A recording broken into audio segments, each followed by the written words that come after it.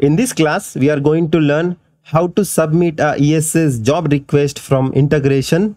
Before building a integration, let me show you what ESS job we are going to submit with the help of integration. I'm here in the Oracle Fusion instance.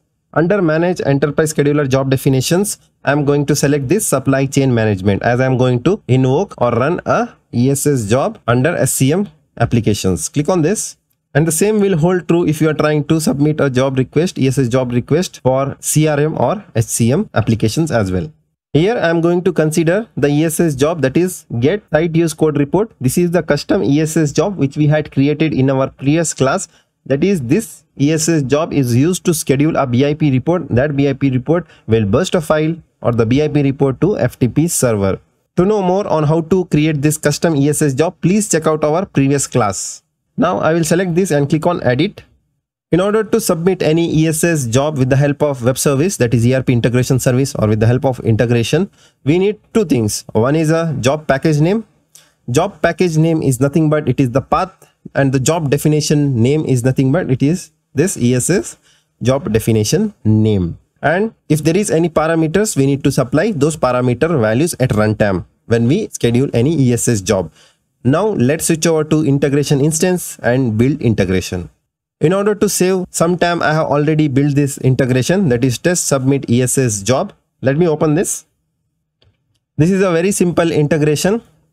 First, I will show you I have created few integration properties in order to pass the values dynamically at runtime. First integration property I have created is to get the definition name. I have provided here the ESS definition name that is this one and next is the ESS job package name. It is nothing but the path. Here I have provided twice this custom up to custom path. That is because in your case, if you have provided the path like test slash custom, like this test slash and the custom, providing this package name, if it doesn't work, what you do it, you have to concatenate this with standard Oracle apps ESS job path then your submit ESS job request will be succeeded. In few of the instances, you might get an issue saying ESS job not found or unauthorized. This will happen only in case if you have created a custom ESS job. In all other seeded ESS jobs, you won't find this issue. We can directly provide the path of seeded jobs. What we see over here under paths under job package name. I'm closing this And the first thing we need to create is Oracle Cloud ERP connection. In detail, we had covered how to create Oracle ERP Cloud connection in our previous classes. Please check out our previous classes to know more. Let me open the invocation wizard over here. While creating any invocation for a connection, we have to give the name. I have here provided the invocation name for a connection. Click on next here under what would you like to do with Oracle ERP Cloud Adapter, I have selected query, create, update or delete information. So we have to select this option. Click on next. Here we have to select browse by services. Under that we have to select the ERP integration service. And under that we have to select the operation that is submit ESS job request. Click on next and done. Now let me open the mapper. First thing we need to pass is the job package name as I already discussed what I have mapped in package name. The package name value what we have stored in the properties I'm passing it over here. So under properties as I shown I have created a separate property for package name and the definition name. And we have to pass the job definition name over here and the parameter list. In our case there is one parameter wherein we send the site use code. I have hard coded here the site use code build underscore 2 in your case you can dynamically get this with the help of properties or you can have a lookup or any other service to store these properties or the parameters. Click on close. So once you invoke this submit ESS job request, it will submit a ESS job on your behalf with the help of ERP integration service. Next thing is we have to wait until that job completes. So this while condition will check whether the status got succeeded, validation failed, error. These are the standard statuses for any ESS job. I have added it over here and the one thing is I have provided a loop. This is a property loop count. I have set it to 5 and this loop when it exceeds this count what I have stored in the properties this while loop will exit and ESS job wait count param this is the property value. And the loop count is the counter which will get incremented every time this loop will run. This is because in every loop i am waiting for 2 minutes. It will wait for 2 minutes and then it will try to check the status of ess job which we had submitted earlier suppose if the job is still running then it will again go to this while loop increment the counter then again it will come over here and it will again wait for a few minutes. And if it finds if it got succeeded or error or anything happened failed or any other cases which we are checking it over here then it will exit the loop and it will continue ahead. Now in order to check the ess job status again we are making use of oracle erp cloud connection over here. Let me open the wizard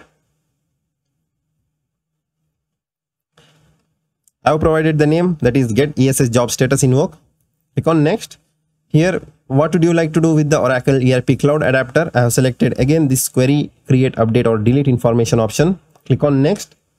Here we need to select browse by services, select a service. I have selected ERP integration service. Under this service, we need to select get ESS job status operation. Click on next and done. And in the mapper, we need to pass the ESS job process ID, what we get in previous invocation that we have to pass in the request ID. So this process ID we will get in the response of submit ESS job request that which we had already done in our previous step that is custom details BIP run ESS job invocation. So there will be one parameter in the response that is result we are mapping it to request ID.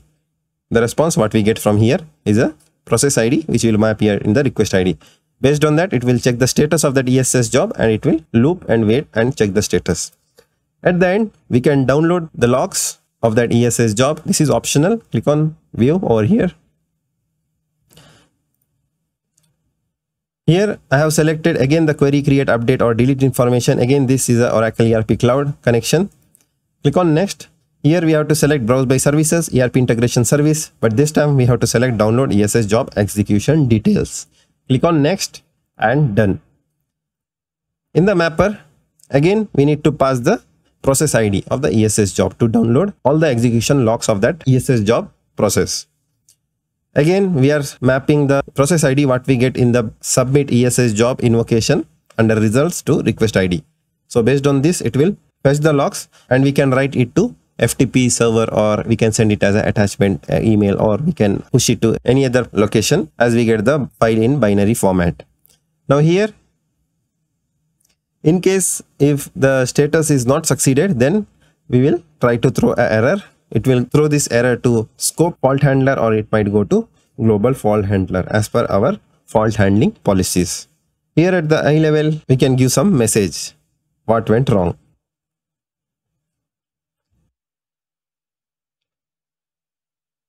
Now, if you see the response of download ESS job execution detailed response, you will get under result the content. This will be in binary you can write this content to any file with the help of opaque schema. You will get the file name, content type and the other details related to file. Accordingly, we can archive this data.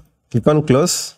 That's it with this integration. This integration is very simple. It will get the definition name, package name. It will submit a ESS job request over here. Then it will wait until this job completes and it will check for the status of completion. Then it will download the logs and then we can archive it in any location as per our business use case. Now we'll test this integration.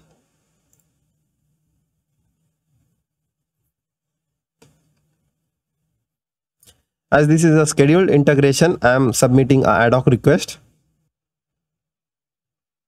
Submit now ad hoc request.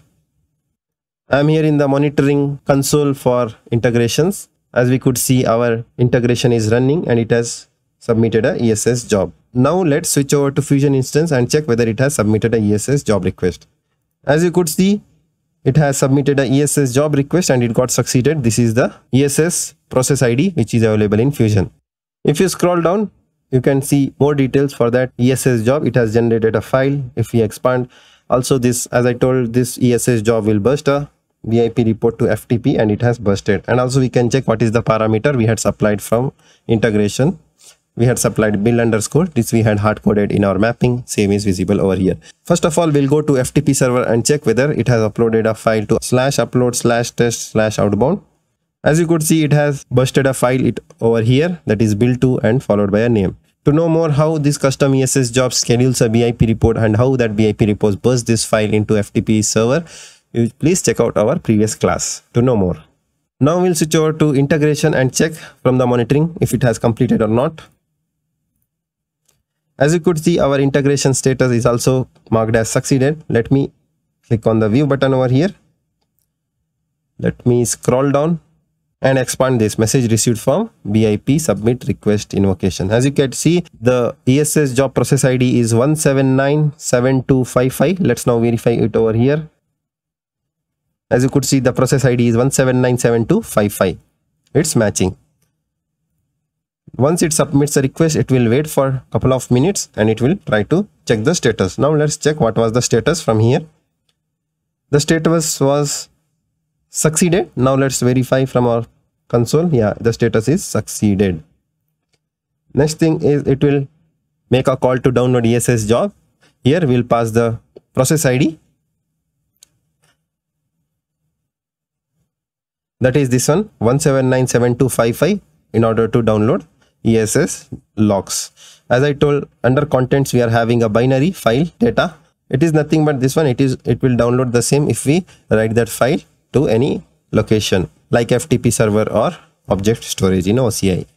So like this, with the help of integration, we can submit ESS job request and we can even schedule this ESS job with the help of integration to run at predefined intervals.